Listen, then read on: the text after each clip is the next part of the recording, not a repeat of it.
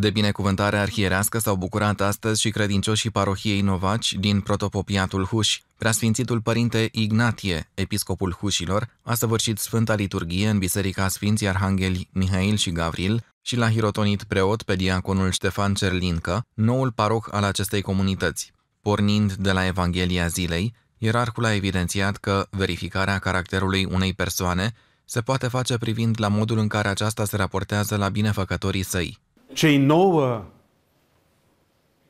leproși care au primit vindecarea, care au știut să se umilească, au știut să se smerească în fața lui Hristos atunci când uh, l-au întâlnit pentru a obține vindecare de o boală foarte necurțătoare și greu de dus.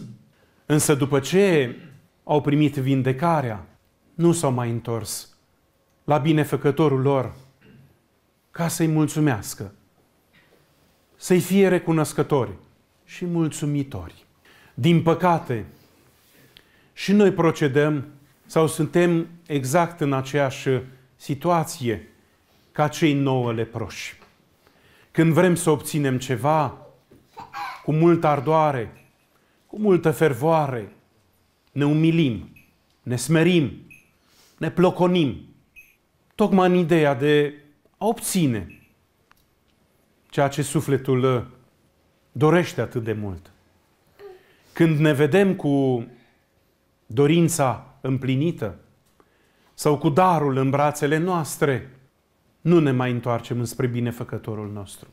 Nu stăm aproape de El mulțumindu-i și fiindu-i recunoscători. Pentru că undeva în adâncul conștiinței noastre credem că ni se cuvine acel dar.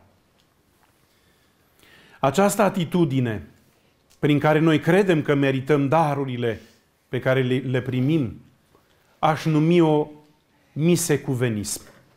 Un cuvânt format dintr-un verb pe care eu l-am substantivizat. Misecuvenism.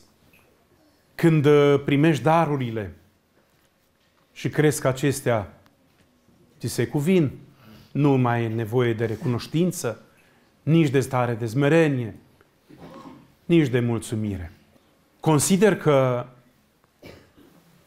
am putea verifica caracterul unui om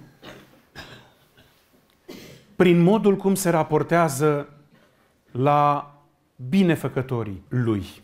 La finalul slujbei, preasfinția sa l-a instalat pe noul preot în demnitatea de paroh, oferindu-i Sfânta Evanghelie, Sfânta Cruce și cheile bisericii.